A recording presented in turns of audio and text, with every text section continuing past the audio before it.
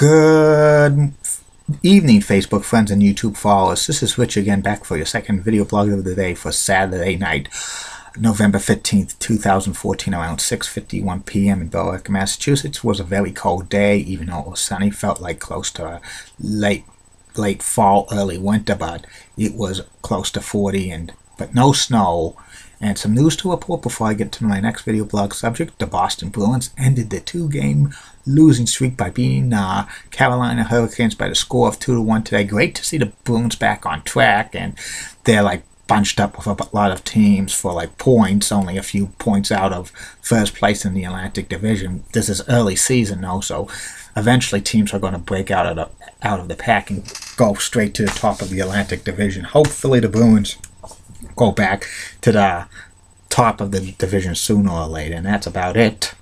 And my next subject is about the classic television series The Rockford Files. The Rockford Files was one of the most famous TV private detective cop shows of all time. It was critically acclaimed. It lasted six years on NBC from September 13th, 1974 to January 10th, 1980. And it starred James Garner as Jim Rockford, private investigator who was um, a private investigator who went to jail back in back years earlier for a crime he didn't commit, but he got pardoned. And he got a the conviction was overturned. He got pardoned, and he, he had to find a job as a private investigator. Also starring Noah Beery Jr. as Joe Rock, Rocky Rockford, who was Rockford's father.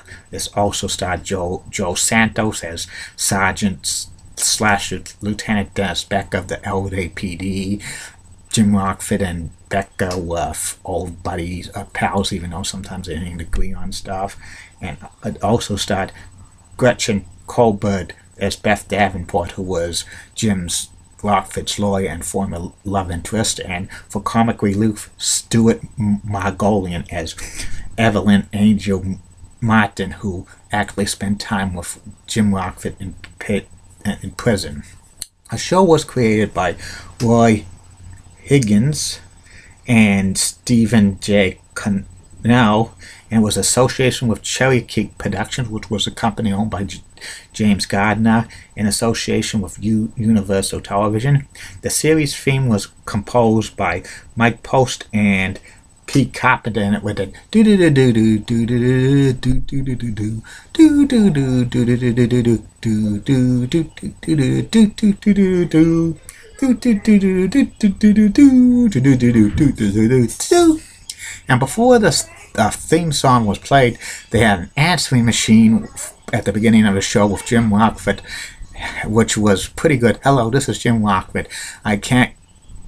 leave a name and message. I'll get back to you. Boom, and there was some crazy like stuff like that on on the answering machine.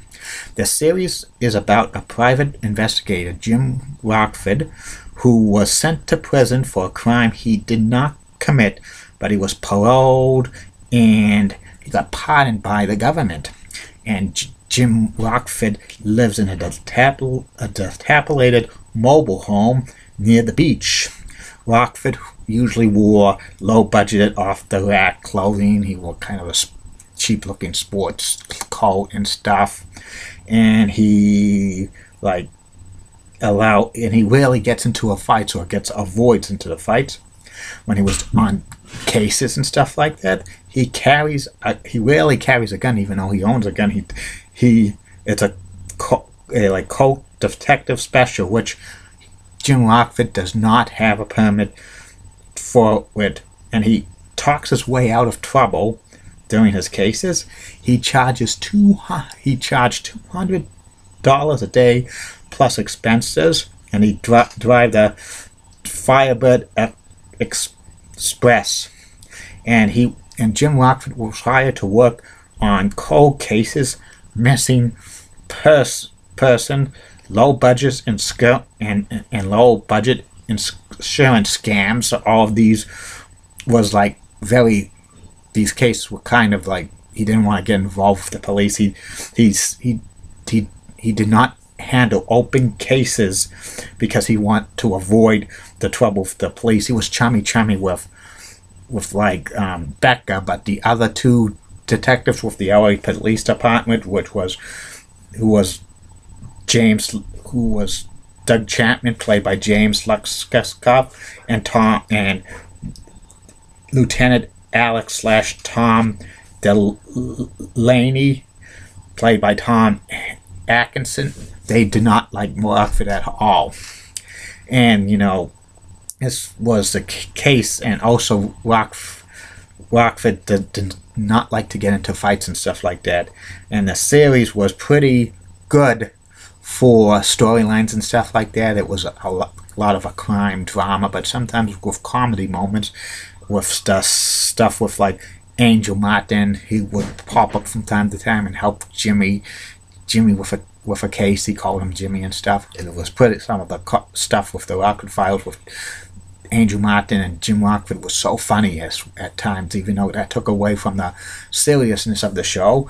And J- James Garner actually did his own stunts while with like driving the car and stuff and this and that. And the series was pretty good for ratings wise. It peaked out at the first year in the top 20 show at 12 it was 12th in the ratings the first season. Then it, the ratings dropped but it was still in the top 50 for the for seasons 2 through 4 and then it bottomed out in like 59th place in the fifth season. And it was still really popular with like viewers and stuff. They did a sixth season but the series had to come to a halt midway through 1980 because doctors told Jim James Garner to stop like doing the stunts and stuff. He was suffering from ulcers and he had knee injuries and stuff like that. So they had to halt production. And also there was a lot of rumors that the production company with Cherokee Production says like the Rockford Files was losing big time money and but NBC and Universal was saying the series was making a profit and stuff like that and it caused James Garner to sue Universal for like royalty fee, fees in the syndication of the show, which became Jim Rockford Private Investigator in 1979. Because back then, when television shows were going to syndication while still on the air, they would have to use kind of a variation of a title because they didn't they, to, to not to confuse viewers that showing that five days a week would be the same as the prime time. So many shows did that back in the 70s and 80s. They used a variation of the title. And then the, like Jim James Garner, this lawsuit lasted into the late 80s. There was rumors going around that James Garner was going to reprise Jim Rockford on a episode of Magnum PI in the 80s, but that didn't come to be because of the pending lawsuit, and reruns of the Rockford Files were seen in the Boston market on Fox 25 from 1979 through 1984. Then they went on to WQTV 68 on and off for about 15 years, which became WABU 68 and stuff. It's also been shown on cable reruns of the Rock Files first in the early and mid 90s on A and E and then they showed it on TV Land. Now it's on weekdays at noontime on MeTV and 6 p.m. on Sundays on MeTV and stuff like that. James Garner eventually settled his lawsuit with NBC Universal and he did eight TV movies of the Rockford Files from 1994 through 1999 on CBS.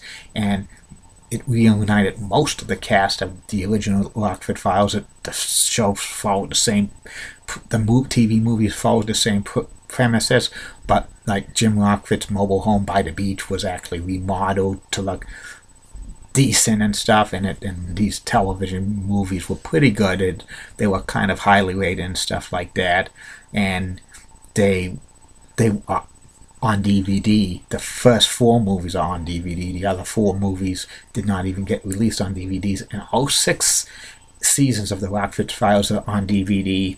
And I have all six seasons of it.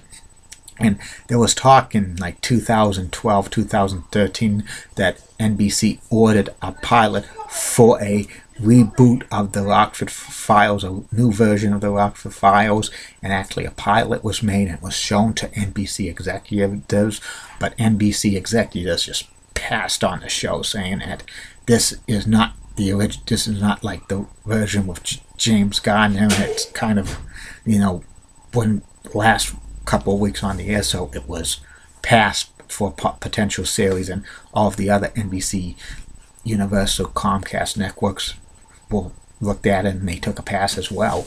But there's going to be a movie version of the Rockford Files starring Vince Vaughn, which is in, which could be out in a couple of years, but I don't know if a movie version of the Rockford Files is going to be good. I, I wonder if it's going to be mainly comedy and stuff, maybe a focus on Rockford, and they have to find somebody to play Angel Martin, and if it they turn into kind of like mainly a, a comedy type movie, it probably flop big time. But you never know. Vince Vaughn's a big star, and he, he has to he has to find somebody who a, a actor who would be like the the modern day version of Angel Martin and stuff like that. And if you could get a good cast of person for like Joe Rockford, Rockford and Lieutenant Becker and Gretchen and, and Beth Davenport and the other minor characters, it could be a big hit, but I'm, I'm saying it's going to be a flop in my opinion. I think it's not. It probably lasts three weeks in movies, theaters, and then drop out of them. Well, I'll be back later on tonight, Facebook friends and YouTube followers, with the third and final video blog of the night, which will be about the Dancing with the Stars host, Tom Bergeron. He's had a great career which started in Boston. See you later, Facebook friends and YouTube followers. Bye now.